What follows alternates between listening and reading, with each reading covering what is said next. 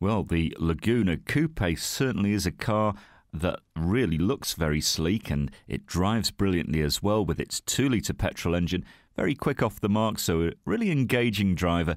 And yet you do get sensible running costs for this GT. Now, this was registered 2009. It's only covered about 40,500, so not a lot there, and we do have the benefit of a full service history.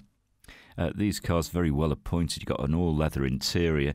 It's just a very nice cabin. Cruise control, climate control, CD. So all the usual is there for you.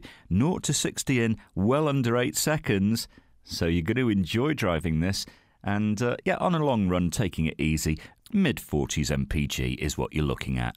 So we have 1,400 cars or thereabouts on our super site at Winsford at the moment. They're all online too. Maybe you're going to be a bit sport for choice. But there again, maybe this is the car that's going to make its way home with you. Come and find out, have a test drive with no obligation, and discover this great car for yourself at Fords of Winsford.